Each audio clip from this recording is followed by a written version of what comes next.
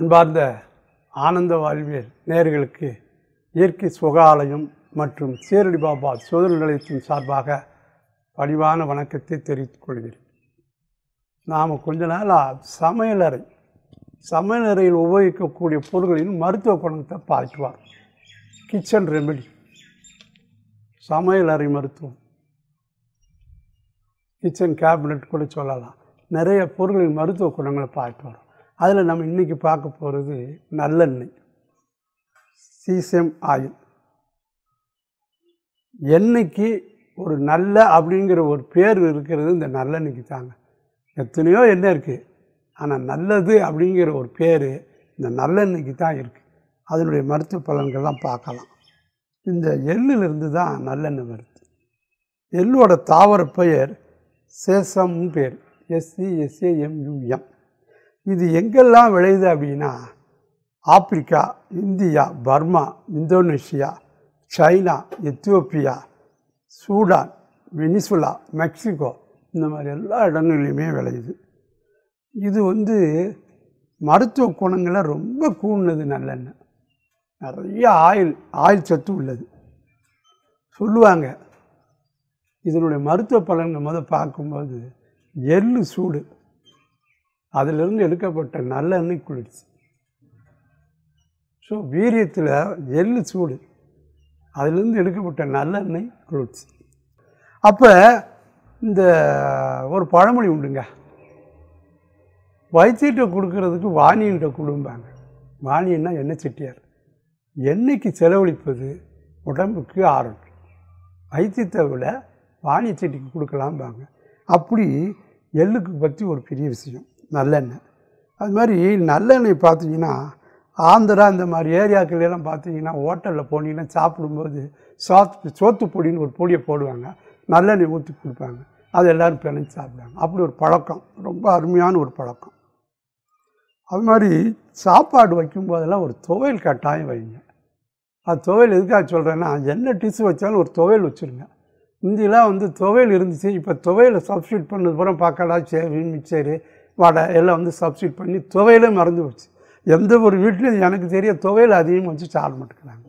இப்போ சுட சுட சோறு வாழை இலையில் போட்டு சாப்பிடணும். அப்படி சாப்பிடும்போது அந்த சோத்தில் சோத்து பொடின்னு கொஞ்சம் போடணும். போட்டு நல்லெண்ணெயை ஒரு அரை ஸ்பூனோ மூணு ஸ்பூன் விட்டு நல்லா சூடாக பிணைஞ்சி அந்த சோத்து பொடியோடு கலந்து அந்த கவலத்தை ஒரு துவையல் வச்சு சாப்பிட்டு பாருங்கள் ரொம்ப நல்லாயிருக்கும் போசாக்கான உணவு. பிள்ளைகளுக்கு கொடுத்தீங்கன்னா அதுவும் ஸ்கூல் கோயிங் காலேஜ் கோயிங் பிள்ளையெல்லாம் இப்படி ஒரு கவலம் சுட சுட சோறு நல்லெண்ணெய் ஒரு ஸ்பூன் சோத்துப்பொடி போட்டு துவையல். கடலை துவையலோ அல்லது தேங்காய் துவையலை வச்சு சாப்பிட்டுட்டு போனால் போசாக்கான உணவு. அது மாதிரி நல்லெண்ணெய் வச்சு சாப்பிட்றதுல ஒரு பெரிய பயன்பாடு அல்சருக்கு ரொம்ப குணமாகும். எப்படி சாப்பிட்லாம்னா நைட்டில் சோறாக்கணும். காலையில் பழைய சோறு சாப்பிட்றோம்னு நினச்சி நைட்டில் சோறாக்கணும் அப்படி நைட்டில் சோறாக்கி தண்ணி ஊற்றி வச்சு காலையில் அந்த நீச்சல் தண்ணியெல்லாம் குடிச்சிடணும். குடிச்சிட்டு அந்த பழைய சோத்தை இப்படி எடுத்து இப்படி சக்கையாக புழியணும். புழிஞ்சு புழிஞ்சு ஒரு பேசினில் போடணும். ஒரு மூணு ஸ்பூன் நல்லெண்ணெய் அதில் விடணும். கல் உப்பு போடணும். போட்டு பிணையணும். பிணைஞ்சு நல்லா உருட்டிடணும். வெண்பொங்கல் பக்குவத்துக்கு வரும். நல்லா உருட்டிட்டு வச்சுக்கிடணும் அதுக்கடுத்து வடச்சட்டி எடுக்கணும். ஒரு இருபது வெங்காயத்தை எடுக்கணும். நல்லா உரித்து ரெண்டு ரெண்டாக நறுக்கி அந்த வெங்காயத்தை அதில் போட்டு ஒரே ஒரு மிளகாய் எடுத்து நறுக்கி உள்ளே போடணும் பச்சை மிளகாய். போட்டு அதில் ஒரு அஞ்சு ஸ்பூன் இல்லை நாலு ஸ்பூன் குறையாமல் நல்லெண்ணெய் விட்டு வதக்கணும். ஃப்ரை பண்ணக்கூடாது. எண்ணெயில் முங்கி இந்த வெங்காயம் வதங்கணும்.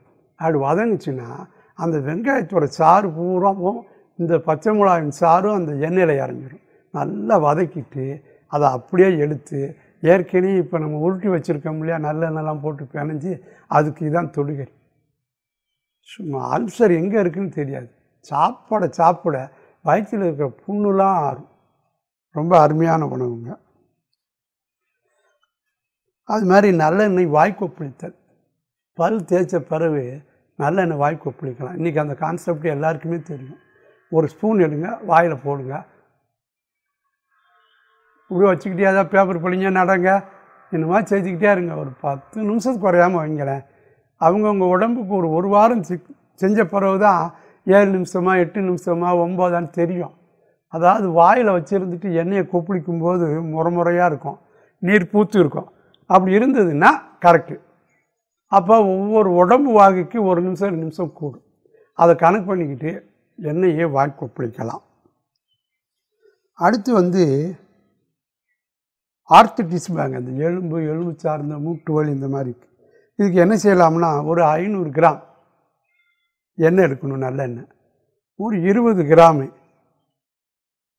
சூடம் இதை போட்டு நல்லா சுட வச்சுட்டு வெயிலில் வச்சு எடுக்கணும். எடுத்துட்டு வீட்டில் அந்த எண்ணெயை வச்சுக்கணும்.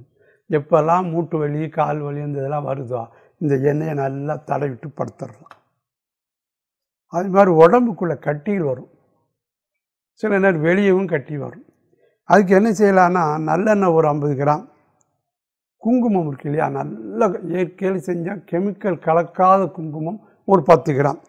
ரெண்டையும் அரைச்சி பேஸ்டாக வச்சு அதை மேலே உள்ள கட்டிகள் எல்லாத்துக்குமே தடை விட்டால் கட்டிகள் ஆறும். அது மாதிரி காலில் வெடிப்பு வரும். பித்த வெடிப்பு சில கிராக்ஸு கிராக்கெல்லாம் வெடிப்பு வெடிப்பாக இருக்கும். அதுக்கெல்லாம் வந்து ஒரு ஐம்பது கிராம் நல்லெண்ணெய் அதில் வேக்ஸ் மெழுகு ஒரு பத்து கிராம் போட்டு ஹீட் பண்ணுங்க. ஹீட் பண்ணி பாயில் பண்ணிட்டு ராத்திரி படுக்கும்போது அந்த வெடிப்புகளில் பூரா தடவிட்டு படுங்க. நல்லா கூல் ஆயிரும். அந்த வெடிப்புகள்லாம் மறைய ஆரம்பிக்கும். சிலருக்கு இந்த அம்மை போட்டிருந்துருக்கோம் குணமாயிரும். பட் அங்கங்கே முகத்தில் நிறைய இடத்துல டாட் ஏற்படுத்திட்டு போயிருக்கும் புள்ளிகள். அந்த புள்ளிகள்லாம் மறையிறதுக்கு நல்லெண்ணெய் உதவும் எப்படின்னா பப்பாளி விதை எடுக்கணும். பப்பாளி விதை எடுத்து நல்லா அலசி அதை வெயிலில் காய போட்டு எடுத்து வச்சுக்கணும். இந்த நல்லெண்ணெயை ஊற்றி இந்த பப்பாளி விதையை அதுக்குள்ளே போட்டு கருகணும். பப்பாளி விதையை பொரித்து எடுக்கணும். நல்லா பப்பாளி விதை பொரித்து எடுத்த பிறகு அந்த எண்ணெயை ஆற விட்டு அதை சூரியத்தில் வச்சு சூரியன்ட்டு ஒரு ரெண்டு மணி நேரம் காட்டி அந்த இலையை எடுத்து அந்த எண்ணெய் அங்கெல்லாம் ஸ்பாட்டில் தடவணும்னா அந்த அம்மை நோயினால் விழுந்த புள்ளிகள் மறைவதற்கு அதிகமான வாய்ப்புகள் உண்டு. அடுத்து தலைவலி இருக்கா? அதை சூடுபடுத்துங்க நல்லெண்ணெய் எடுங்க. திருநீற்று பச்சலின்னு ஒரு ஹெர்பல் இருக்குது கிட்டத்தட்ட துளசி வாழை அடிக்கும். அதனுடைய ஜூஸ் எடுங்க. நல்லெண்ணெய் கலங்க.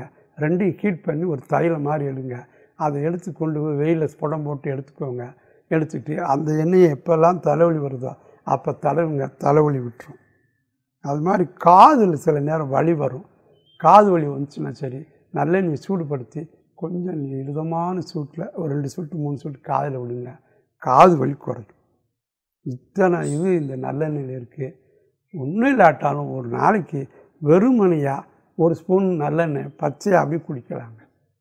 மறக்காமல் ஆனந்த வாழ்வு சேனலை சப்ஸ்கிரைப் பண்ணுங்கள்